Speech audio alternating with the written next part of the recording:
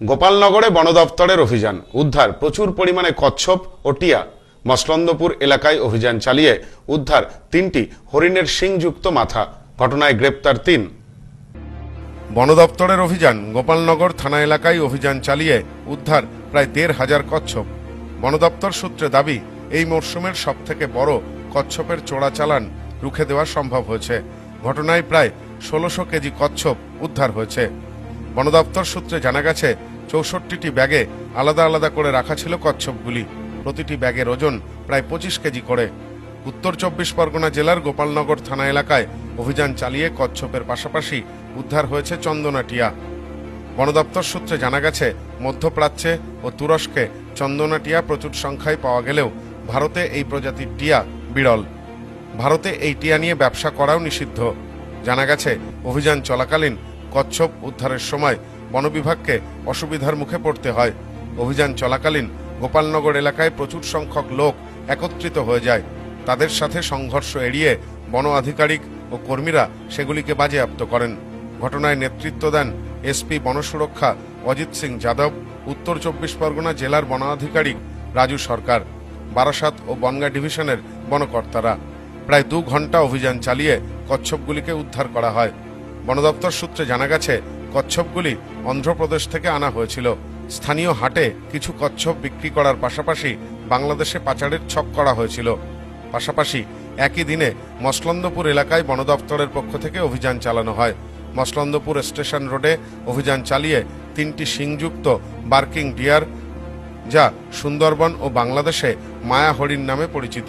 সেই হরিণের তিনটি মাথার খুলিসহ একটি মোটরসাইকেল বাজেয়াপ্ত করেন বন দপ্তরের কর্তারা।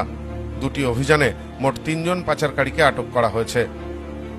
এ বিষয়ে বনগা আদালতের আইনজীবী সমীর দাস বলেন বন দপ্তরের কাছে খবর পৌঁছেছিল যে একটা চক্র কাজ করছে। যারা এই ছোট ছোট প্রজাতির যে কচ্ছপগুলো, সেইগুলো বিভিন্নভাবে চোরাপথে এনে বিক্রি করছে।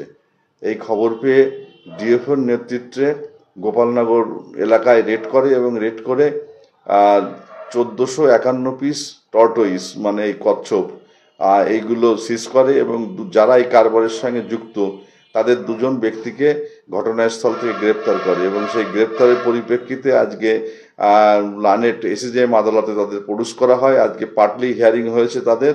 এদের একদিন জেলে রাখা হয়েছে। কালকে ফুল হিয়ারিং করা হবে এদের ব্যাপারটা ফুল হিয়ারিং হবে। এখন এই পরিস্থিতিতে একটা টিয়া পাখিও সঙ্গে ছিল, সেই টিয়া পাখিটাও তাকেও সিজ করেছে। এবং এইগুলো একটা বস্তার মধ্যে করে প্যাকেটে করা ছিল। পঁচিশটা করে টর্টোইস একটা করে প্যাকেটে ঢোকানো ছিল এবং, আর কোথার থেকে এটা হয়তো আনা হয়েছে। আনা হয়ে এখন এই খোলা বাজারে সেইগুলো বিক্রি হবে। এখন এটা সম্পূর্ণ যে বন্যপ্রাণী যে প্রোটেকশন যে আইন আছে আমাদের দেশে, সেটা একটা যেহেতু বিলুপ্ত প্রজাতির যে প্রাণীগুলো আছে, সেইগুলো এইভাবে বিক্রি করা খোলা বাজারে এটা ঘোরতর অন্যায়।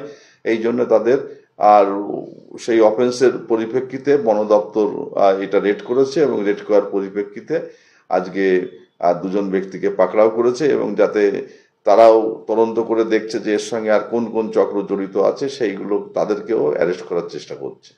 সব্যসাচী ভট্টাচার্যের report news no man's land Bongaon. New PC jewellers সম্পর্ক গড়ে দেয়। বনগাঁতে আমাদের তিনটি শোরুম প্রতিদিনই খোলা। New PC jewellers Bongaon Batar মোড়। New PC jewellers branch Kumudini স্কুলের বিপরীতে। New PC jewellers beauty Motiganj Hatkhola.